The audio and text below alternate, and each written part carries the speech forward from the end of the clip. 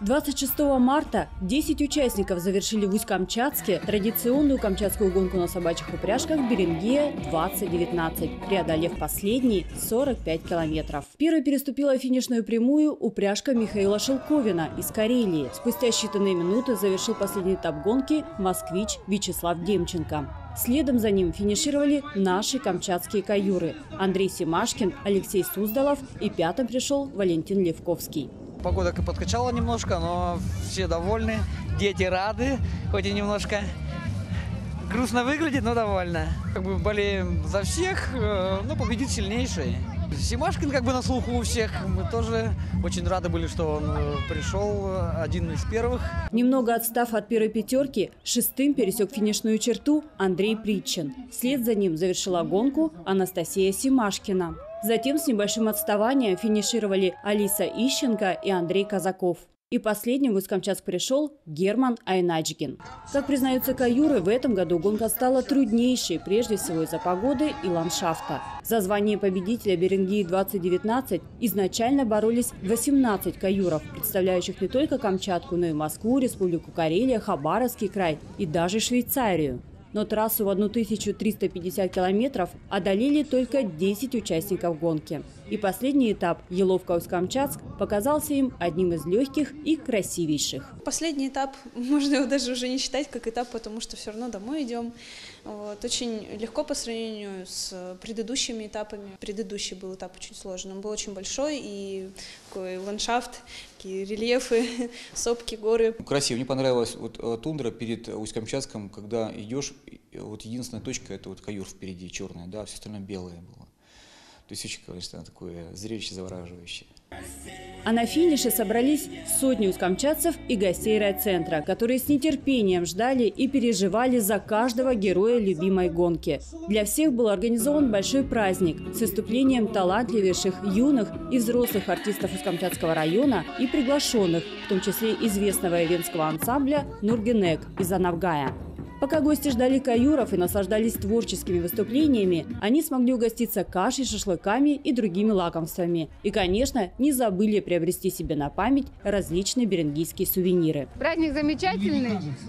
Как бы организаторы в этом году молодцы. Концерт замечательный. Пусть еще не раз прибегут они через нашу Камчатку. Сегодня такой день, слезы пробивают, потому что такая гордость за наш край, за таких мужественных людей. Солнышко появилось, вот несмотря на то, что пурги были, метели, люди такой путь проделали. Вечером все получили массу положительных эмоций на концерте прославленного Государственного академического национального корякского ансамбля танца «Мэнга» имени Александра Гиля. Торжественное награждение каюров, победивших и участвовавших в Берингии-2019, состоялось на следующий день в Усть-Камчатском центре культуры и досуга. Открыл церемонию губернатор Камчатского края Владимир Илюхин. Была очень тяжелая, эта гонка. Камчатская природа, опять-таки, традиционно преподносила разного рода сюрпризы. И пурги были, и дожди были, и морозы были, перемороженный снег был – и я сегодня не устану повторять, что я рад тому, что и каюры, и собачки все дошли. По итогам Беренгии 2019 победителем стал Вячеслав Демченко. Глава региона вручил ему сертификат на 3 миллиона рублей. Второй – Михаил Шелковин, обладатель 2 миллионов. Бронзу и 1 миллион рублей завоевал Валентин Левковский. Андрей Семашкин – четвертый. Ему вручили 500 тысяч рублей. Анастасию Семашкину – пятое место и Алексея Суздалова – шестое. Наградили денежным призом в размере 200 тысяч. Андрей Причин – седьмое место, Алиса Ищенко – восьмое, Андрей Казаков – девятое и Герман Айначгин – десятое получили по 100 тысяч рублей. С приветственным словом выступил глава Ускамчатского района Василий Логинов, который вручил всем каюрам и их помощникам-сопровождающим памятные подарки. Особым призом – набором рыбака от удочки до палатки – Василий Иванович наградил первого переступившего финишную черту в Ускамчатске каюра Михаила Шелковина.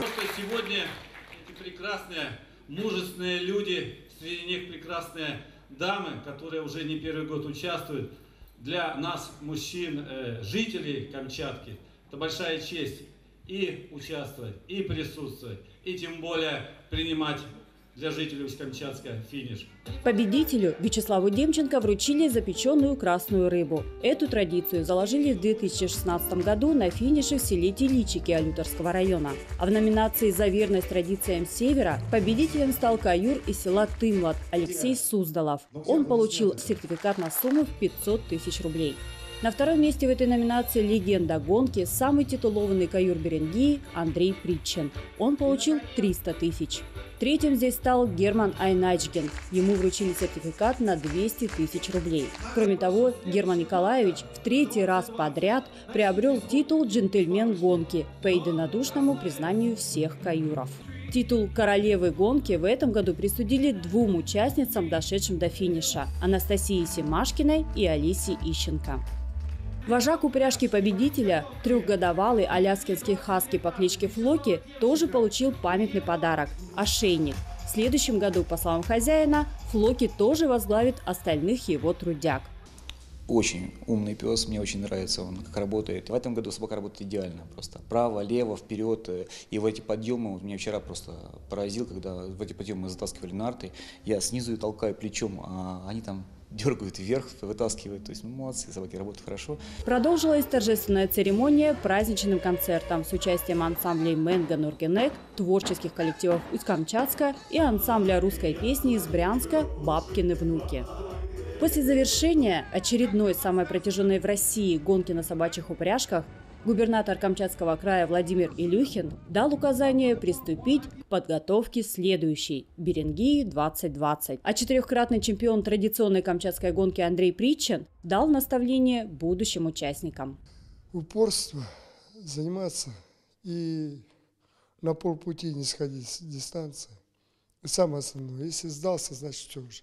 И мы хотим пожелать всем удачи в дальнейших гонках на собачьих упряжках. Ведь Беренгия – наша любимая стихия.